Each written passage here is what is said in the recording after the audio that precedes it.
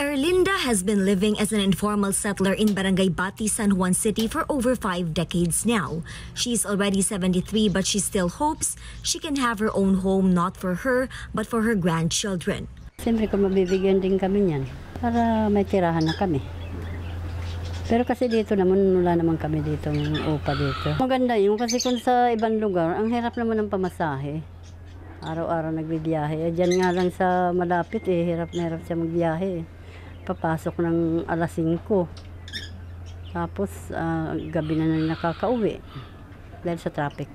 Joel, another San Juan resident, laments their home is easily flooded whenever it rains. But he says moving out of the city is not an option. Mabuti naman. Dahil maano ka talaga. Problema yung ano, kalagayan namin sa bahay. Para rin bumaba.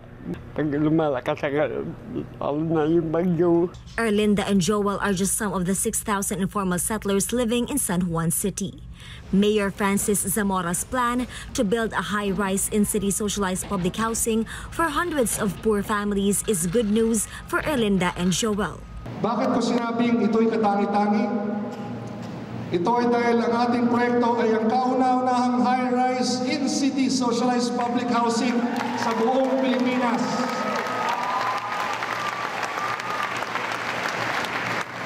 Wala kayong makikitang kamukha nito sa buong bansa. Sa San Juan lang naging posible yan.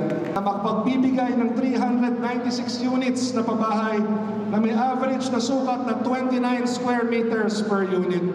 During his first 100 days in office, Zamora said the total cost of infrastructure projects, including the National Government Center and new school buildings and barangay covered courts, has reached nearly 1.7 billion pesos.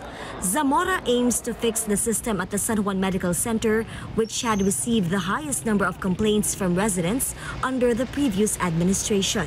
Sibo ng San Juan Medical Center na kung 25,800 pesos ang binayad, 800 pesos lang yung pumapasok sa kaba ng bayan, yung 25,000 nawawala na. So, ang ginagawa natin ngayon ay nakikase build up tayo o kinokolekta natin lahat ng ah, ebidensyang meron tayo para sa tamang panahon no, ah, ay kailangan managot ang mga dapat managot.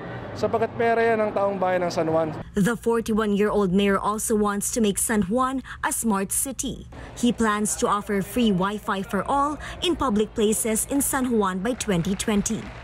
Zamora also proudly shared the city received a high compliance rating in the DILG's validation on the implementation of the President's Road Clearing Directive. Naging masigasig kami sa pagsunod sa direktiba ng Pangulong Duterte at ng DLG. Iba't ibang kriteria ang nandito, kasamang ah, road clearing, kasamang rehabilitation, kasama ang ah, ordinances, ang grievance committee, ang public information, at lahat naman yan ay sinunod namin talaga. Most of the mayor's projects have just begun, but residents say the mayor's reforms are already being felt.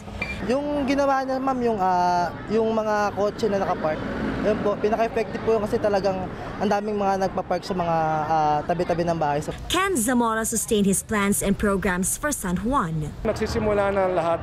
Kumbaga yung, yung foundation ay nalatag na natin.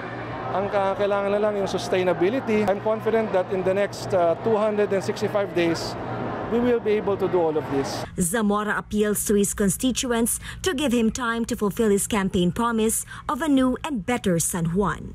Bianca Dava, ABS-CBN News.